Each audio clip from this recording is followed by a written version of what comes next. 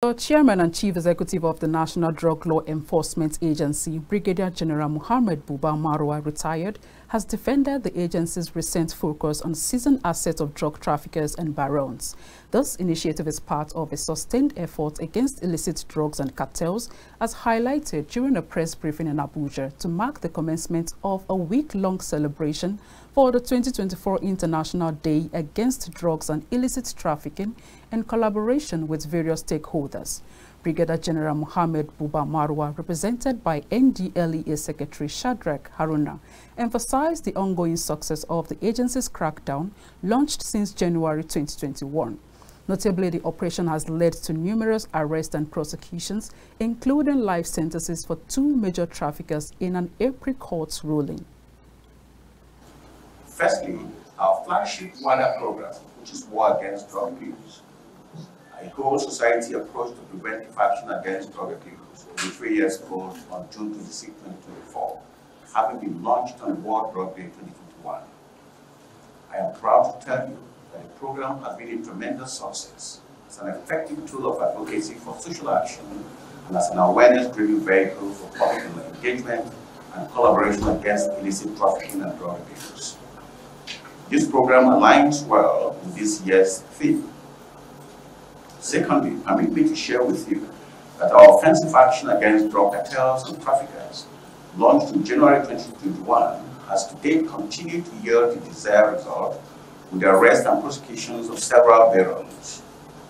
As you are all aware, two serial traffickers got life imprisonment in court in April.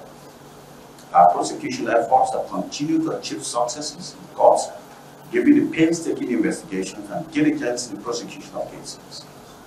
Our watertight case preparations are unassailable.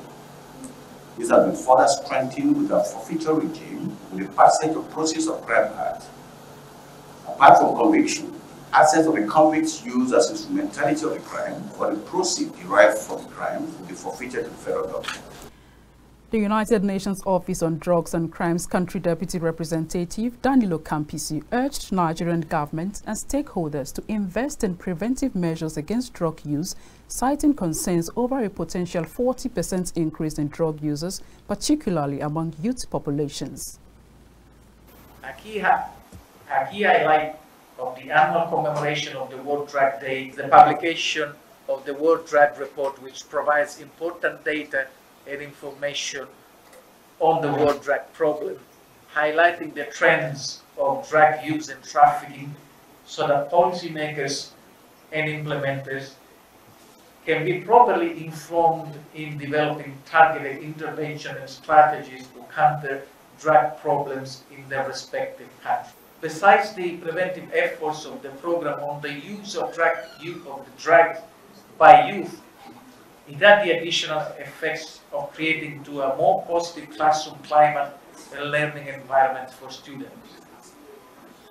Many schools recorded improvement in academic performance across all subjects for the students that were opportune to experience this program. Evidence of life skills part of the program, as well as students who were not part of this program, noting the change in those that went through the applied program. The NDLEA's prosecution efforts continue to achieve significant milestone in court thanks to investigations and robust case preparations that ensure cases remain solid and unassailable.